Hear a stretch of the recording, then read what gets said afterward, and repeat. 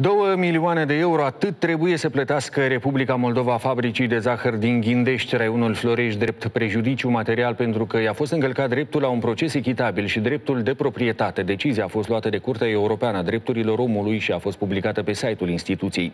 Guvernul trebuie să vireze banii pe conturile reclamantului timp de trei luni. În caz contrar, suma va crește. Am expediat o solicitare guvernului în care am întrebat dacă autoritățile vor executa decizia CEDO, însă reprezentanții executivului ne-au spus că vor reveni mai târziu cu un răspuns.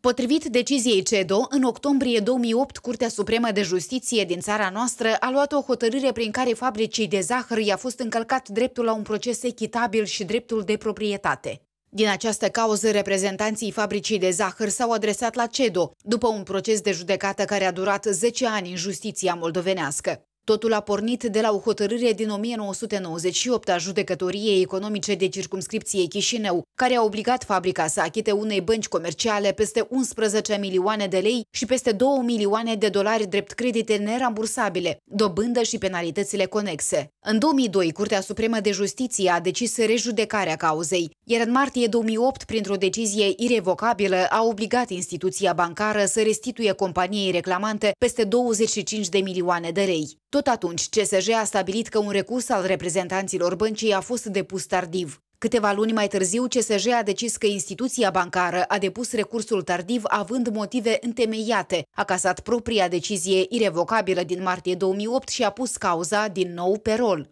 În urma acestor acțiuni, reprezentanții fabricii de zahăr s-au dus să-și caute dreptatea la CEDO și au câștigat în instanța europeană.